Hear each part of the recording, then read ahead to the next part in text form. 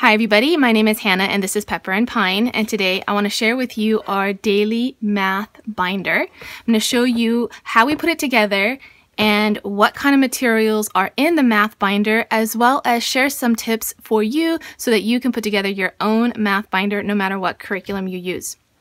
Now in front of me are a variety of math workbooks. Now most of these are hand-me-down or ones that we got at like discount stores. And these days the only math workbooks that we do buy are by Key to Curriculum Press. And I have a video showcasing all of that curriculum and you can check that out at the end of this video. And that video link is also in the description box below. So here I've got all these different grade levels for these math workbooks. And when I am putting together my daily math binder for my student, I tend to choose math workbooks that are one to three grade levels below where he is at. And this is for a couple of reasons. The main reason is that this daily work is supposed to be quick, easy, somewhat repetitive, definitely review, something to increase the proficiency of these skills, these math skills, which for me are going to just be the basics. So it's basic arithmetic. I want my children to know it, know it well, be able to do it quickly, and not have any kind of worry about it because it's going to be the foundation for all other math later on. Since my son is going into sixth grade, I don't want to put any math workbooks and worksheets that are at his grade level. I want this all to be review. So I'm going to go ahead and just remove the ones that are sixth grade or, or up and keep those for another time.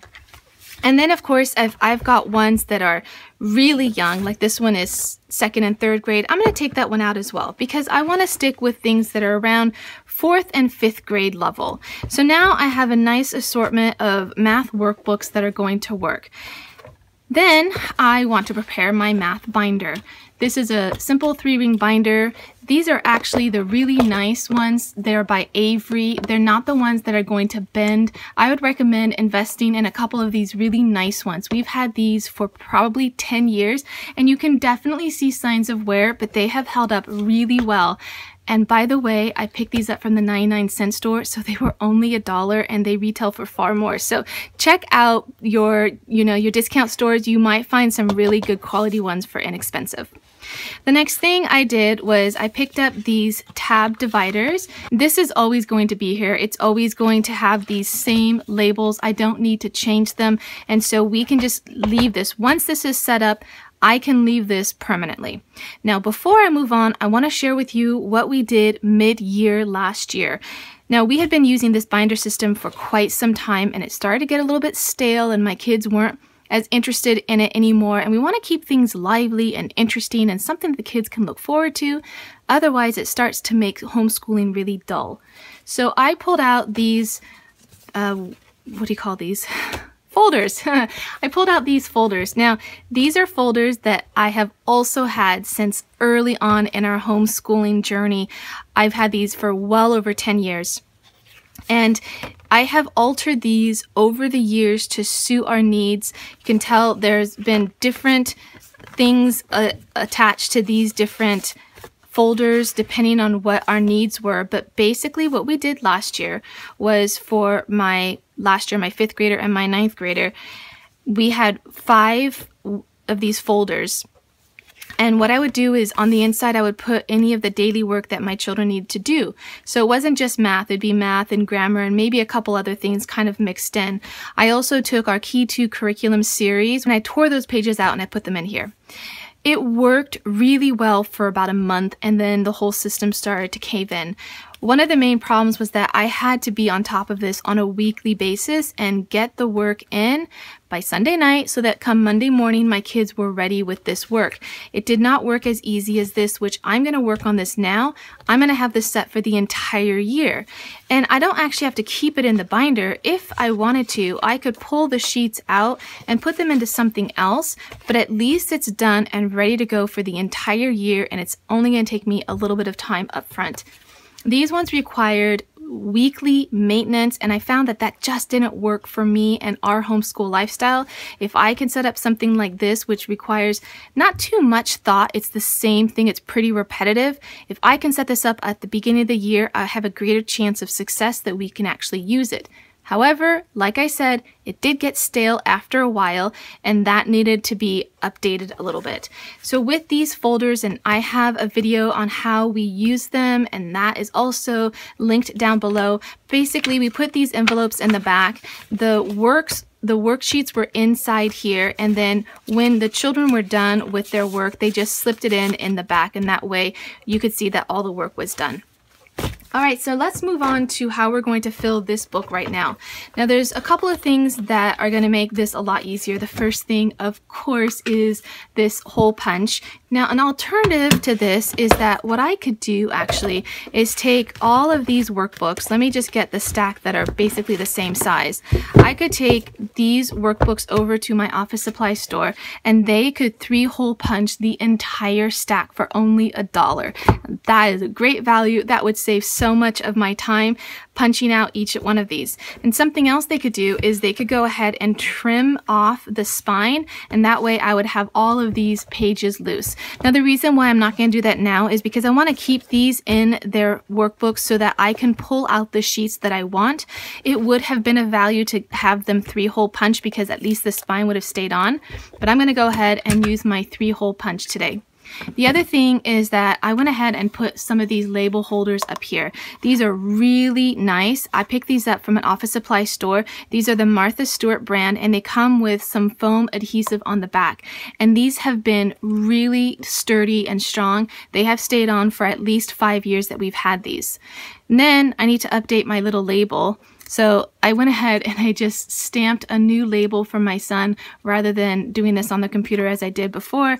And that's going to slip right in here. And that way, when these are all on the bookshelf, it's going to be easy for him to see which one is his. And then he can just pull it out. And the whole point of having this is to have some independent work that he can do while we're still getting our school day going or while I'm helping another student. If you're working through your own curriculum, but you want to add daily math into the mix, I would recommend number one, going with a grade level that's below where your child is at. Now, don't be alarmed. A lot of the stuff that your child is going to do at his grade level is going to include review work anyway. Now, one thing that I would caution against is a page like this. Even though I'm going to keep a page like this in his book, I'm not going to have too many of them. These are just way too many problems. And what I tend to do is pull out one worksheet and, oh, these are going to be a little bit harder to get out. the binding isn't going to make this one as easy to get out, but that's okay. We're going to work on it. But basically, I'm going to pick one page front and back per day. We have 20 school days in the nine months, and that gives us 180 school days. So rather than having him just complete one side and then the next day the other side, it's just a lot easier to pull out one sheet and call that one day's worth of work. Now, in order to have this be one day's worth of work, I really want it to only take no more, absolutely no more than 10 minutes to do this because this needs to be these quick, easy lessons that he's doing on a daily basis. So as I go through these different workbooks, I'm going to try to find things that are going to suit those particular goals that I have in mind for my child. And once it's in your binder, then you can use this as like your master math worksheet binders. It's just going to be a place that's going to keep all of your material in one place. Now you might wonder, why not just take an entire workbook and give that to your child instead of putting it into a binder?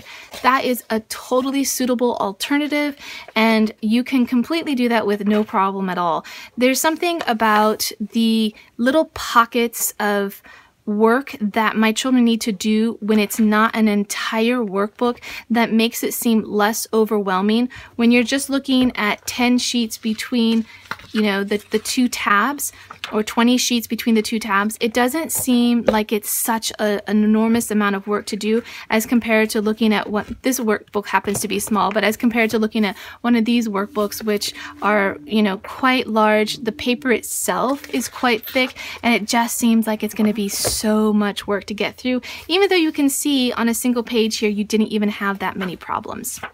All right, so time to start pulling these different worksheets out. I'm going to look for a nice assortment of them so that we're not just sticking to one kind of worksheet over and over and over again. All right, so I have 180 worksheets here. They're from a variety of different workbooks, and they're not in any particular order right now. I just know that I have all the worksheets that I need, and I want to mix these up so that it's more interesting for my son as he goes through this.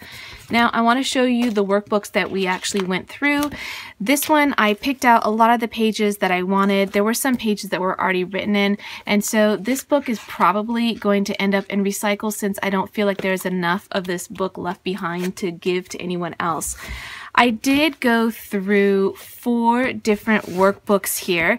We went through this entire one. Now this is third grade level and originally I did not want to use the second and third grade level, but I found that there was a lot of really good simple review for multiplication and division. So I went ahead and I used both of these. And then I used two fourth grade workbooks and I did pull from a couple of these other workbooks as well, but not that many pages. This whole set of Miquon books I picked up from a friend recently. She was getting rid of these along with the uh, teacher's manual and originally I wanted to pull pages out of here because I noticed that there were a lot of simple math problems in here that really suited our needs. However, once I started pulling from the other math books, I realized that instead of just taking a few pages out of each of these workbooks, I wanted to keep this entire set together since we have all six volumes as well as the teacher manual. And this way another family can use the entire series together rather than just having a workbook that's missing some pages since I would have only taken about 10 or so pages out of each of these workbooks. All right, so now it's time to sort through these worksheets and put them in basically random order. All right, the binder is done. It took about an hour to do. I've got 20 assorted pages in each section. And at the very back of the binder, I put the answer keys as well as the table of contents of each of the workbooks that I used. That way I can use this to give to our teacher so that she can see the different topics that are being covered. And also I can keep this for my own records so that I know the different mathematical areas that my son covered this year. So this is meant to be part of my son's opening activities, or just independent work that he can do on his own. So if you're going to try doing this this year, I'd love to hear your thoughts in the comment section below. And don't forget that you can check out that complete curriculum review for the Key to Curriculum series by clicking on the screen right now. Or you can check the description box below for that link.